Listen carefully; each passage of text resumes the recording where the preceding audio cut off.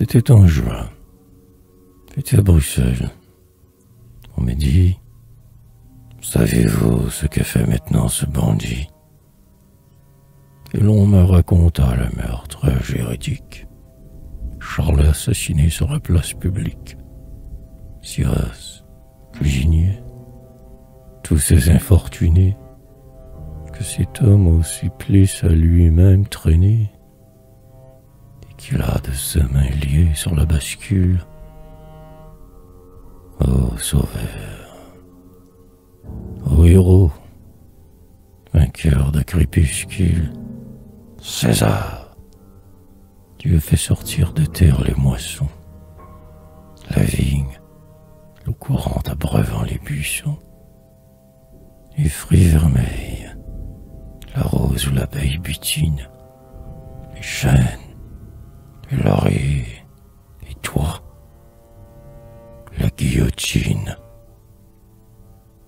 Prince qu'aucun de ceux qui lui donnent leur voix ne voudrait rencontrer le soir au coin d'un bois. J'avais le front brûlant. Je sortis par la ville. Tout m'y parut plein d'ombre et de guerre civile. Me semblaient des spectres effarés. Je m'enfuis dans les champs paisibles et dorés. Au contre-coup du crime au fond de l'âme humaine, la nature ne put me. L'air, la plaine, les fleurs, tout méritait. Je frémissais devant ce monde où je sentais se sceller vivant. Sans pouvoir m'apaiser, je fis plus d'une lieue.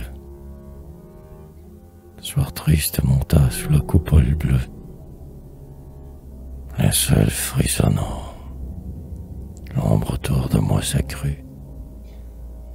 Tout à coup la nuit vint, et la lune apparut, sanglante. Et dans les cieux, de deuil enveloppé. Je regardais rouler cette tête coupée.